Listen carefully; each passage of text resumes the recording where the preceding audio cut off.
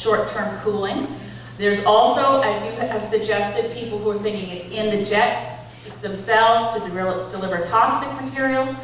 I'm trying to get to researched, empirically verifiable sources so May I recommend the Carnicom Institute to anybody who wants Please, to please investigate come up and give me anything afterwards, because I've been, obviously, I, I shouldn't say obviously, maybe it's obvious to you, it might not be obvious to everybody. When I ask Environment Canada for information that they have, when I look to government sources for any information that verifies this, they say it's just not happening. I'm prepared to be sufficiently skeptical to keep looking to find out when, it, when and where it's happening, and I know that it's widely held as a concern in this community, so I don't dismiss it. I just don't have enough information to say on a verifiable, there's certainly nothing in the peer-reviewed literature. And I Well, it don't, explains the peculiar Yeah. tra- trails we see behind Jetcraft that we didn't see 15 years ago. and I know a lot of people agree with you, and I'm just, I'm being as fair as I can about it. I'm not with you yet, but I am looking for the information, wanna- and I hope that doesn't let down too many people in the room. But That's, I have to have science. I get vilified for standing for science when there really is science, so I've got to be very careful not to step out into an issue where I can't find the information that backs me up. There's a lot of opinion that backs it up, and there's a lot of, there are a lot of photographs that are peculiar, I agree with you. But I don't have the science to say out loud, yes, I think this is happening. I do think there's reasons to investigate what's going on, because a lot of people believe something is occurring as you've described. Now, Trevor, the- on the aisle there. Yeah, thanks. Um, first off, I want to say thank you so much uh, for coming to speak with us here in this room and for patiently answering our questions one after the other. Um, so I have a question, but it's just a really short lead up to it. Um, now, I wouldn't doubt that most people in this room, if not most of Victorians, feel pretty worn out with the issue of the Northern Gateway Pipeline. Um, and I figured, or maybe you would have anticipated that it would be brought up uh, tonight. But um, yeah, so you were also mentioning like public hearings around pipelines and how um, it's more now that those who are directly affected, um, who may be uh, close to the pipeline, projected pipeline route. And I do believe that they call them public hearings for reasons, for a reason, not public listenings.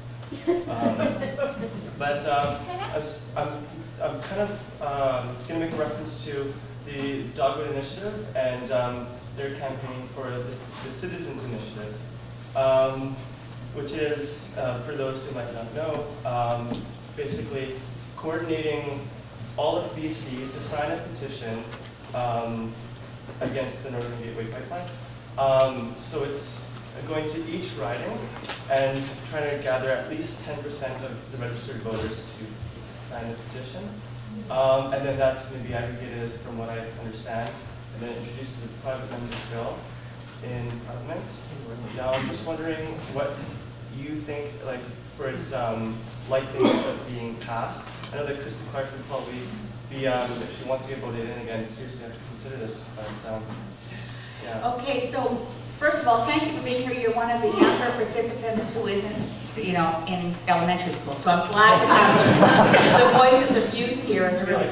I'm, you know, the, the fact that the Joint Review Panel conditionally approved this, you've got to look at the National Energy Board report if you haven't looked at it. It is thin. It is appalling. They, they actually ignored the fundamental things. There's a great blog on it for anyone who wants a quick read. Chris Turner, who just recently wrote the book on Harper's War on Science, wrote a blog where he said, when you're reading this report, you can almost feel the document shrug in your hands. well, there are all these things happening, yeah, but hey, we need it. So it's a very thin document. Now, there's other initiatives by NGOs. Uh, two groups have recently filed a court challenge saying that the National Energy Board failed in terms of its responsibility under legislation by writing such a thin document. So that's one approach. We know that First Nations will be going to court to say, look, we have a, you have a fiduciary responsibility under the Constitution of this country uh, as a federal government and as Enbridge to have had meaningful and real consultations with us. There's this little bit of a time that we have now before the federal government decides how to handle the recommendations from the National Energy Board. Now is the time to be raising hell about this. Don't wait for a plebiscite. Don't wait for the demonstration. I have so many people who are wonderful and earnest and say, I'm ready to get arrested to stop that pipeline. Don't wait for your big heroic moment. Do the boring stuff now, because now is when it's in front of cabinet to review the National Energy Board recommendations, which have conditions. So please, if you're concerned about this issue, I know it's boring stuff. Write a lot of letters to the editors of the Eastern Canadian papers where they don't get it, why we don't want this pipeline and tankers and bitumen and diluent on our coastline. As for the Dogwood Initiative idea, I haven't been asked about this publicly before, and Dogwood Initiative didn't ask my advice before they launched it, but I think it's kind of high risk. If it's a plebiscite, it's like the HST plebiscite, where it was amazing that enough British Columbians signed to force a plebiscite and a vote. But you know, we, you have to have in every single riding, so the majority of British Columbians, I have no doubt, oppose uh, pipelines, two-way pipelines, diluent, toxic diluent going Kitimat to Alberta and then bringing back bitumen mixed with diluent from Alberta to Kitimat and then putting the mixture on, on super tankers through some of the most hazardous bodies of water anywhere on the planet through the Hecate Strait. I have no doubt the majority of British Columbians oppose that concept. But can we get enough organization on the ground so that 10% of every single provincial riding in BC signs a petition and forces a plebiscite? That's what worries me. So it's a high-risk strategy. If it takes off, and if Bill Vander Zalm gets behind it, uh, I mean, I, I have to say that was an astonishing HST response. But we did see from the provincial election results that parts of BC, likely the coast, are more upset about the idea of tankers on our coastline. So the geography of it, I'm giving you a very candid answer. I think the Dogwood Initiative I think Dogwood is a brilliant organization. I think they do great work. So I'm, if you can sign a petition and participate, great. But don't wait for plebiscites. Do everything you can now. If we're called to show up for a day of action against Enbridge, show up. By the way, Enbridge drives me nuts because they sponsor everything. I just had to send a note to my staff that once again I'm declining the lovely invitation to go to the Governor General's Award for the Performing Arts. I used to like to go. It's a good evening and you get to see famous Canadians get awards. But for the last few years, it's sponsored by Enbridge. So I just can't go. I'm just waiting for the day when I turn on CPAC. It says the Parliament of Canada brought to you by Enbridge. So please do stuff in the short term now before Harper rules on this and keep up the pressure on Christy Clark. You're right about that. If she wants to get reelected, she will know British Columbians don't want this. The majority don't want this. So we have to keep the pressure up provincially as we also pressure the cabinet of the federal cabinet. You know, Harper said he wouldn't push it up down British Columbia's throats if we don't want it. Uh, so we have to push back. Uh, now I went one, two, and then, yes, you are next. Um, we have a national central bank here, our Bank of Canada, and uh, since it was nationalized in 1938 until 1974 when Trudeau decided to stop using it, we funded lots of infrastructure and, uh, and our government, our federal deficit. Um, so my question is, if Jim Flaherty is so keen on ending our deficit, why doesn't he use our Bank of Canada? And then number two, for our uh, beloved sewage treatment plant, why don't we fund that with the Bank of Canada as well, so we don't have to pay any extra taxes? And the, did the question carry? No. Okay, the question was on monetary policy. We do have a Bank of Canada Act. The Bank of Canada exists uh, to provide interest-free loans to the Government of Canada as required for projects in the national interest. Why do we not use those? Why do we borrow from private banks? Why do we have interest payments on loans to the Government of Canada? Uh, and the policy that, that my party has is that we should review the, the Bank of Canada Act and use for future loans, we should be looking at the Bank of Canada and monetary policy as a solution to reducing debt and deficit. We don't favor just canceling all of our debts because there's also, of course, the impact would be very um, disruptive to the Canadian economy if Canada just decided to ignore its relationships with the commercial banks. So it's kind of a, it's, it's a, I would characterize our current position as a party as, as more middle of the road than you know, monetary policy is the solution for everything.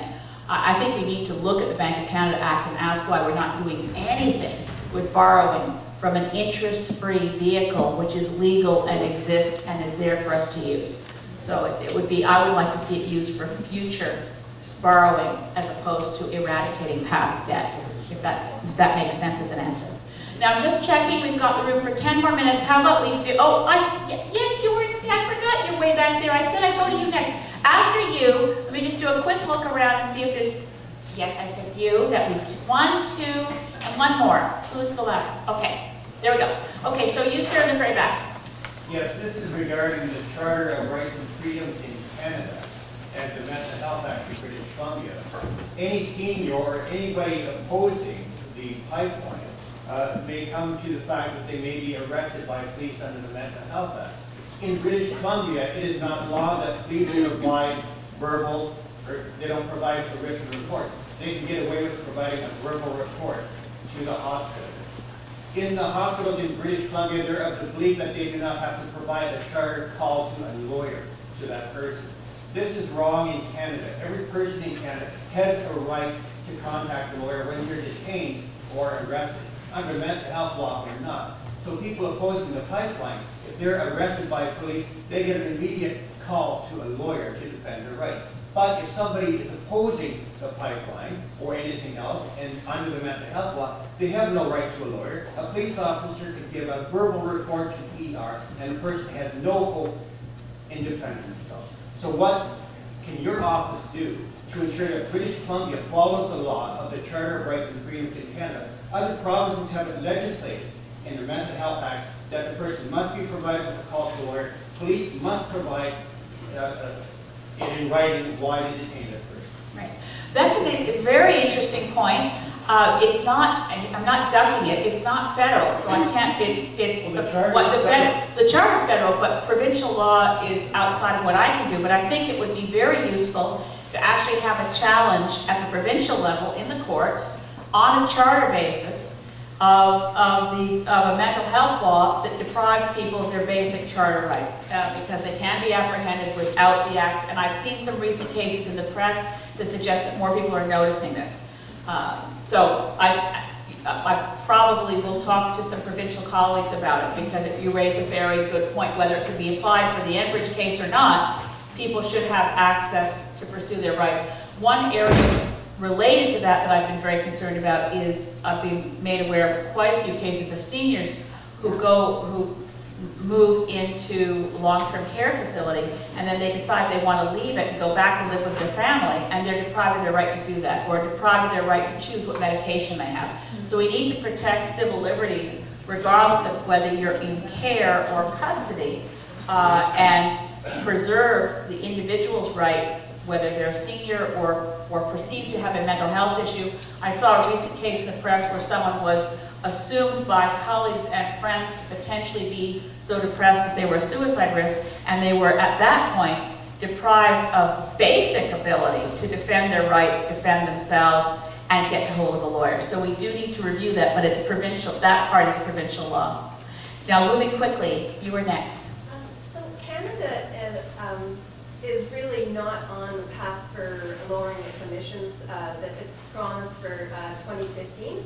And uh, I'm just wondering how the rest of the world feels about this, and also if the other countries that are getting closer to meeting their emissions or below, like below that, what if they decide to sanction like trade relations with Canada, and wouldn't Harper maybe start to take notice of that? So did everyone hear the questions related to Canada's greenhouse gas emissions? We are not on track to meet the target. This is a target that Stephen Harper adopted, which is the second time he weakened our targets as our current target. So first he weakened them by repudiating Kyoto. Then he said our target was 20% below 2006 levels by 2020. He weakened that by making it 17% below 2005 levels by 2020. We are nowhere near on track to hit that because we haven't put in place action. Interestingly enough, I'm quite convinced, I won't tell you how I'm convinced because it's too large a group of people and there's media in the room, but I have good information that they had the regulations ready for regulating in the oil sands under Peter Kent, but they were stymied and above the Minister of, so in the PMO, they were stymied to bring. Now PMO and the Minister of Environment, Leona Aglukkaq, are saying they won't have any regulations on the oil and gas sector for years. So there's no chance of us getting anywhere near that target to reduce greenhouse gas emissions. So the second part of her question was, how are we seen in the world? Uh, could this result in trade sanctions against Canada? Yes, it absolutely could. The European Union has been talking about it for some time, that while they have carbon-constrained economies, they're working hard to hit, by the way, the European Union has, is on track to completely soar past 20% below 1990 levels by 2020. They're talking about trying to go to 30% below 1990 levels. Now the difference between 1990 levels and 2005 levels, so picking different base years has been one way that Harper has undermined global treaty making, but, but our emissions right now, if we get to 17% below 2005 levels by 2020, to put it on a par with the rest of the world, we'll be 3% above 1990 levels. Now, 1990 is the base year most countries use, and as I said, Europe is going to, European Union is going to be 20% below 1990 levels by 2020. I know it's a lot of statistics. So the rest of the world is looking at us and saying, yeah, why should we constrain our carbon emissions when a country like Canada is not, and they don't have, we don't have a carbon price or a carbon tax, and we still subsidize fossil fuels. So there have been people in, in Europe, European countries discussing, in European Parliament, discussing trade sanctions against Canada. How are we seen in the world? Well, when I was in Warsaw as a Canadian parliamentarian, wearing the badge of the government of Afghanistan, and I was so depressed about it, and I was talking to, of all things, a Saudi Arabian delegate. Now, they're not good in these negotiations. but one of the Saudi Arabian delegates said to me, you know, I was in the Office for Compliance for the Kyoto Protocol when Canada withdrew. He said, I can tell you, we tried to talk Canada out of it. We tried to talk them out of it.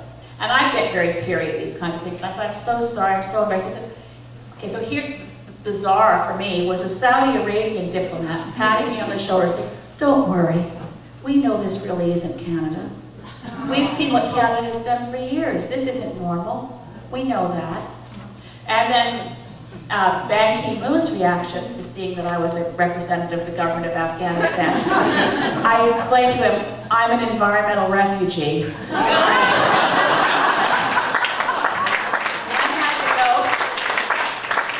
somewhere else. Anyway, um, it, it, is, it is appalling how much global prestige and reputation we lose by being a laggard on climate change. And we are right now uh, so appallingly uh, uncommitted to the kinds of actions that even Stephen Harper committed us to, which are weaker than anything previous governments had accepted. And so last question. Yep, just one quick one and one a little more involved. Just would you please put democratizing the Constitution on your website?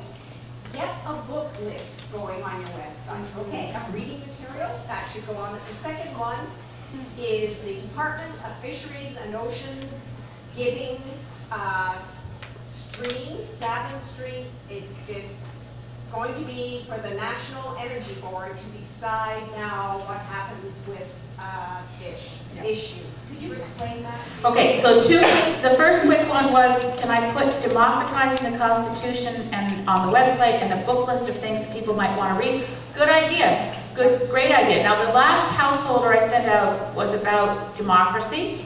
And that, it, although you got it in your mailboxes as a paper copy, it's also available online. But we can start adding books. I'll tell you right now, one I highly recommend in relation to questions I got earlier about minority parliaments is a book by Peter Russell, Professor Emeritus at University of Toronto, called Two Cheers for Minority Government. It's a very helpful short read, gives you a really good perspective on Canadian parliamentary history.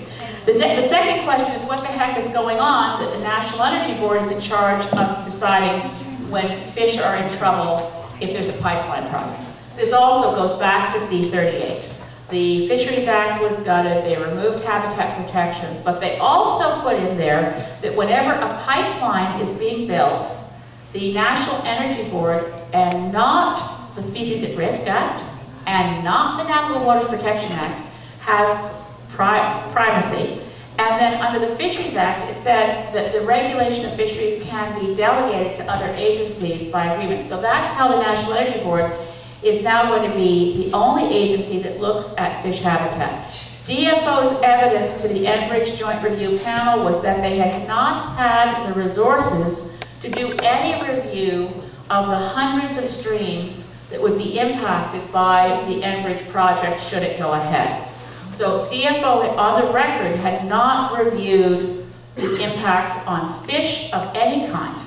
And now, under the process that Harper has created, it will be the National Energy Board that will be responsible for fisheries, endangered species, and navigable waters if they're in the path of a pipeline.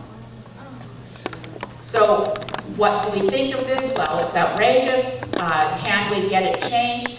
Potentially through court action, because there are legal requirements under the Fisheries Act still that would call into question. Remember when, when the National, not National Board, remember when the, the Federal Department of Fisheries and Oceans delegated responsibility for aquaculture to the BC government? The court overturned that, so you can't do that. So that they have monkey wrenched the laws and weakened them. I think there's still enough shreds of responsibility for fisheries that there could be a lawsuit that would reverse that. And then, of course, there's the, the First Nations lawsuits that also bring in questions uh, of the protection of their territories. And when you're, when you're dismantling your environmental laws, back to your, our international reputation, one of the, the great irony is how is it that eventually Barack Obama is going to make a decision on the Keystone Pipeline when he said it matters what the impact is on greenhouse gases. It matters what our environmental laws look like. Taking an act to our environmental laws and destroying them, while at the same time having no climate plan, is actually hurting the chances of getting the White House to have enough public relations cover, frankly, to approve a project that Harper really wants. Now, you said maybe if we started seeing trade sanctions, it would affect his decision-making. I don't know what, anything clearer than that the Keystone Project is in trouble specifically because he hasn't had a climate plan in place, and specifically because groups in the United States that are fighting Keystone are able to bring forward all these examples of the destruction of our environmental laws. Uh, it, uh, it, it's a huge irony, and, and one that doesn't seem to be getting Stephen Harper's attention.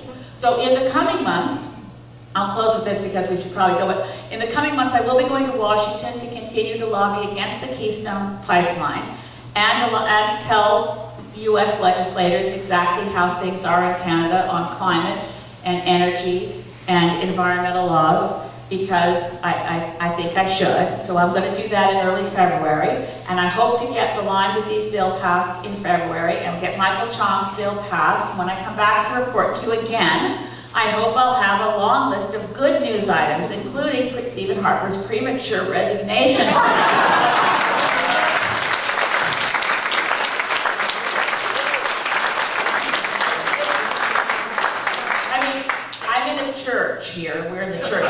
so I can say it's a Christian impulse on my part to want to spend more time with his family and, and less time with the rest of us.